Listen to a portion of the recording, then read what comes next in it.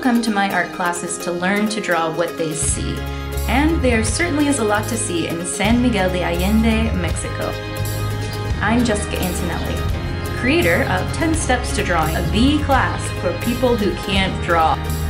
I teach here in San Miguel, which is a magnet for creatives who come to soak in the colors, patterns, and culture. If you can't hop on a plane this minute to join our next class, there's still good news. 10 Steps to Drawing is now available as an online course that you can take from anywhere. Talent is a myth. My favorite thing to do is to work with beginners who think they're terrible and help guide them through the 10 steps until they're happily showing off their sketchbooks to friends. Drawing is a learnable skill, and the 10 Steps online program will give you the techniques, personal support from me, and a great online community to stay creative. It sure is a beautiful world out there, and in 10 steps, you can learn to draw so that you can reflect and express your world in your sketchbook. I hope you can join us.